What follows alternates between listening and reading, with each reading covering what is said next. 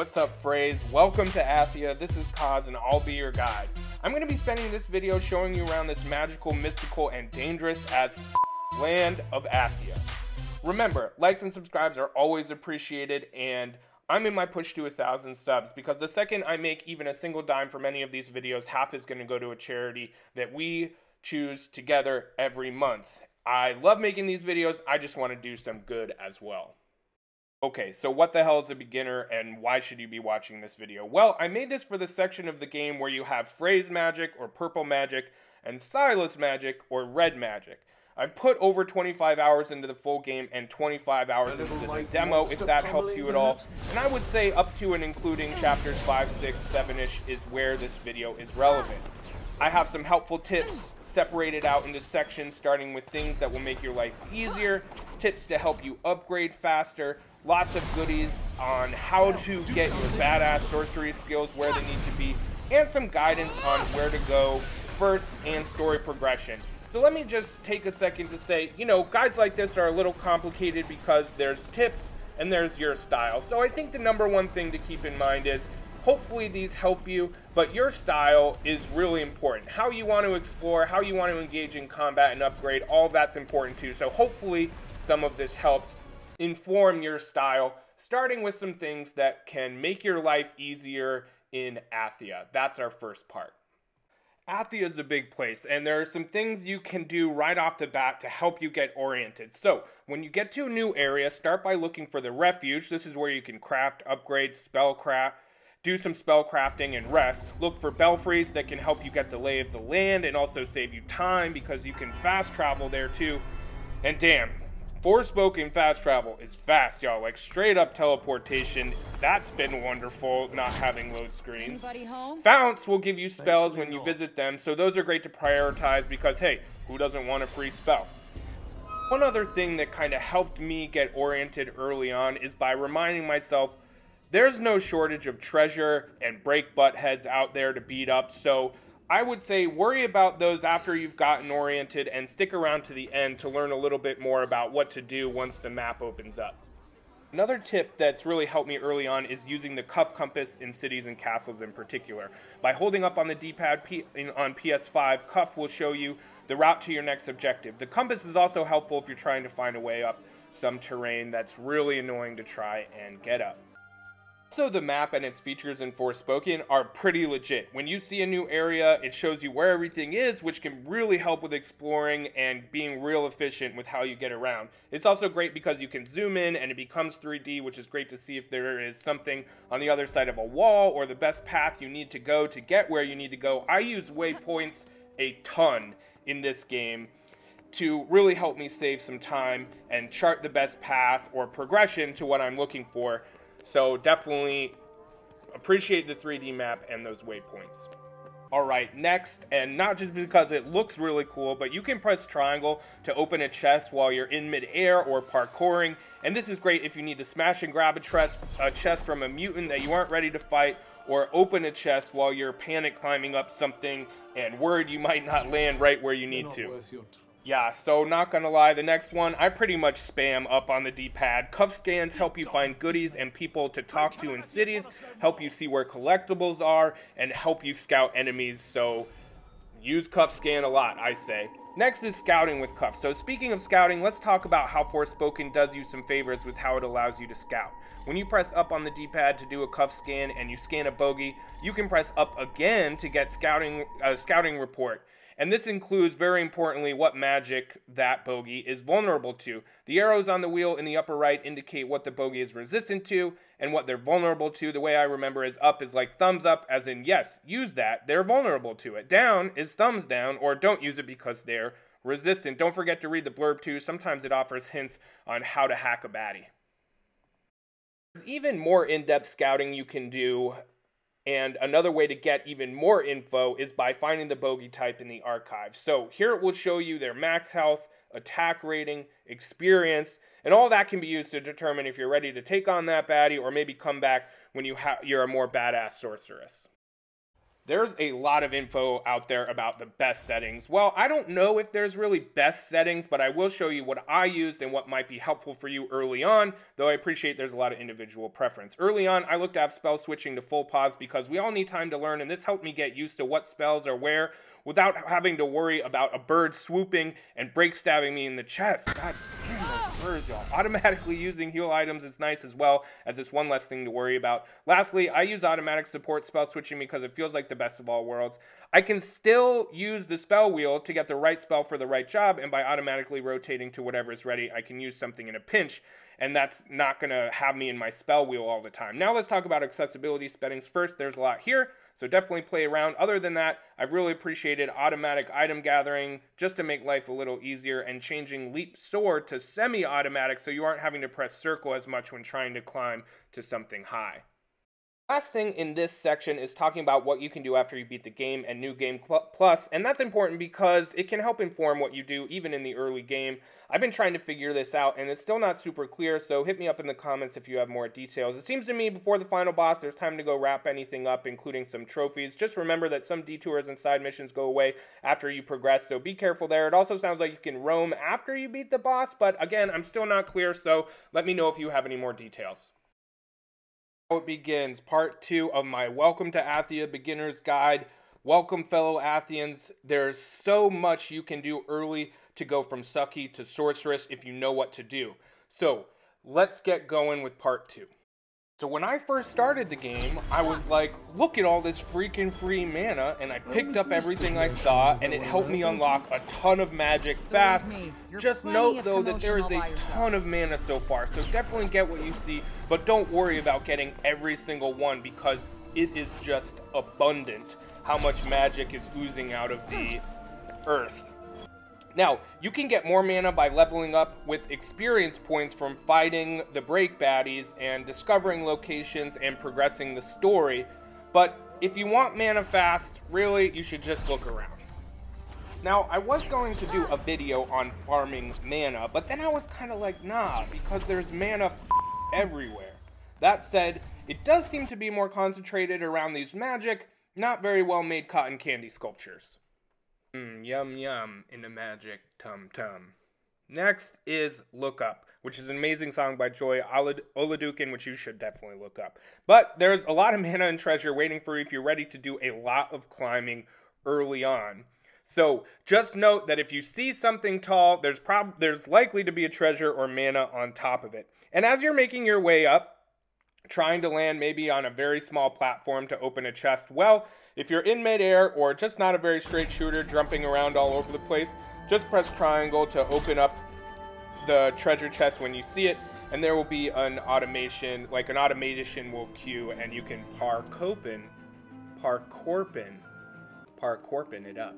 Next is Finders Keepers. Another quick thing is just to make sure to visit the Finders Keepers when you return to Cipal.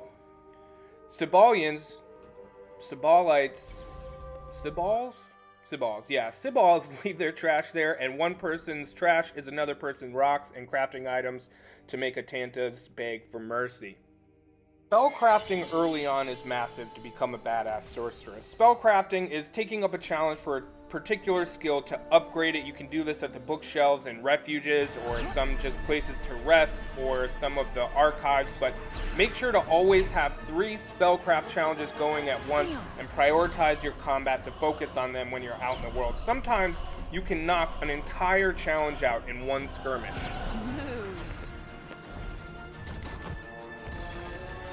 That's it.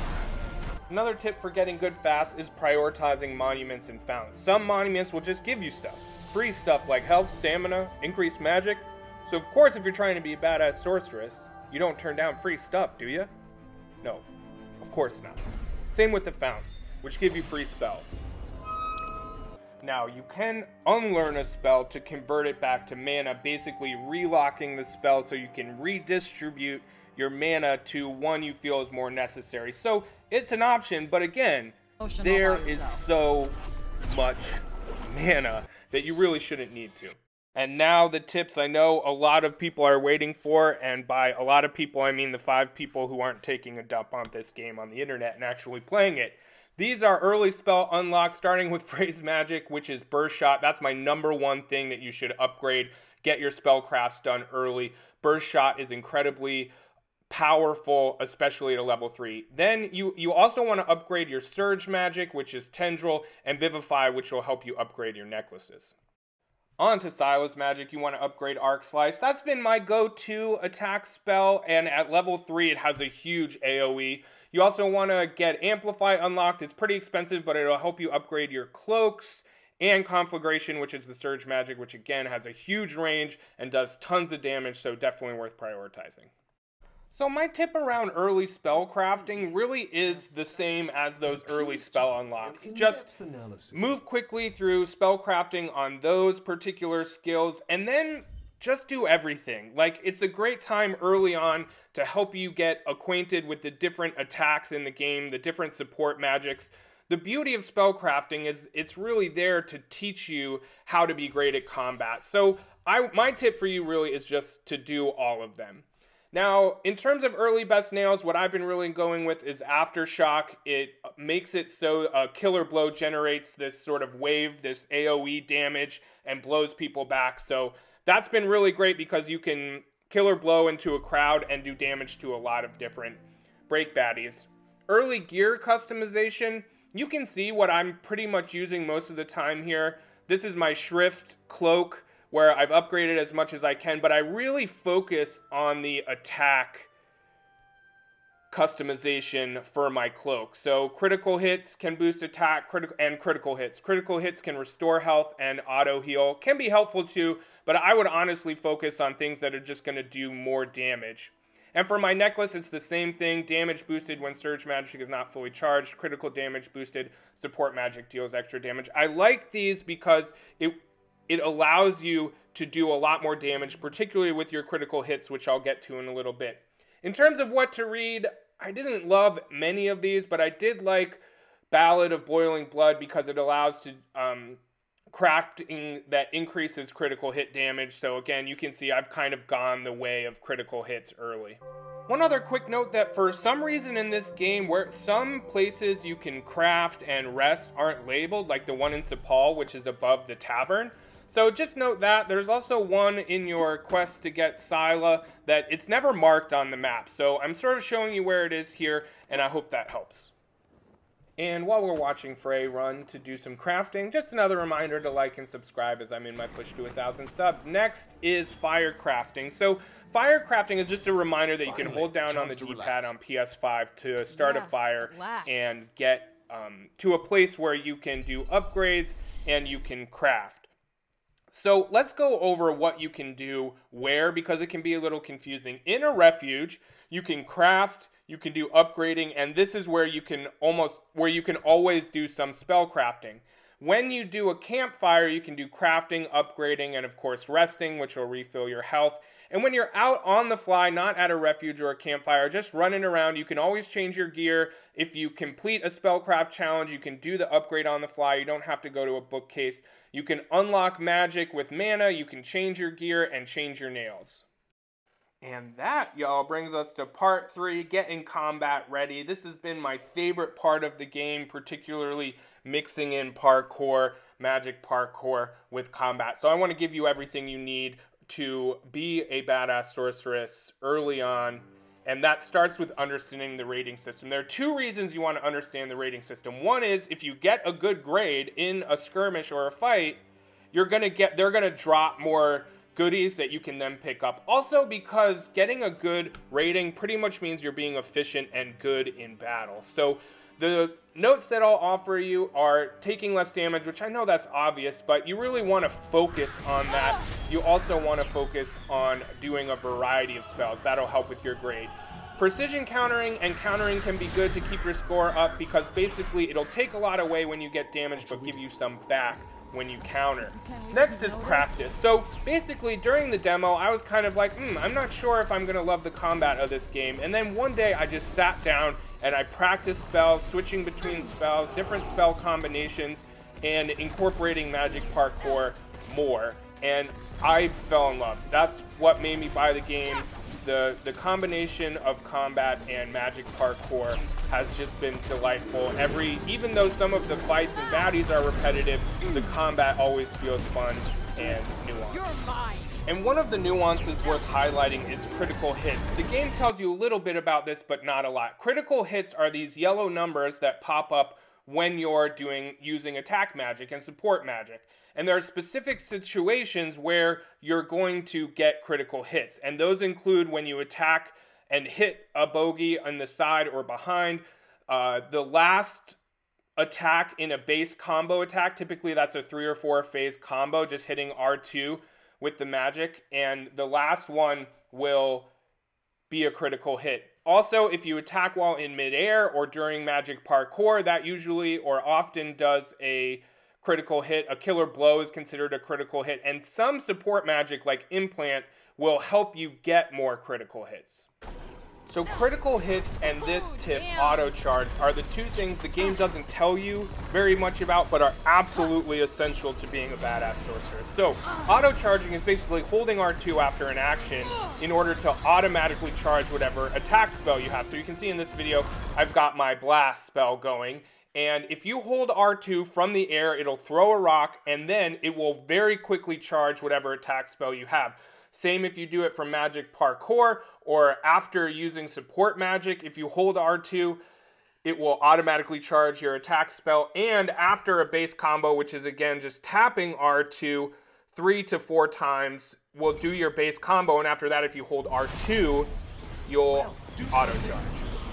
And while auto charge and critical hits are my number one and two tips for attack when it comes to defense, really the most important thing in combat, and maybe the number one combat tip, is using evade and magic parkour to be way more mobile than everyone else you're fighting. Move around them, and then while you're in the air, while you're jumping over tangos, you can use your magic to then critical hit, auto charge, go back into evading and magic parkour, use some of those tips we just went over again, rinse and repeat, and you got this ah. As we wrap up this section, I will tell you I go into way more detail about early to mid-game combat in my 15 essential Forspoken combat tips video, so definitely go check that out. That brings us to our fourth and final section of this starter kit for my fellow Athians and this is all about where to go first, which I'm going to say right off the bat, I always struggle with this because people play the game so differently. You could just follow the storyline, or you could go pick up every single piece of mana, get all OP'd out, and take down any baddie out there. The little bit I do have to offer is focus on getting your red magic sooner rather than later. I basically had all of my purple magic upgraded before I got red magic, but it meant that I had to like skip some fights I didn't want to because I didn't have the right magic for the job. Also, don't forget that some detours slash side missions um, go away if you don't get them uh, soon enough, so just keep that in mind. And the last thing is just use the open world as an opportunity to practice and get really good with your magic and your magic combinations. That, my friends, will go such a long way in getting you where you need to go early on. And that's it. Don't forget to like and subscribe. Thank you so much for watching. I'm in my push to a thousand subs, and I really look forward to your like and subscribe.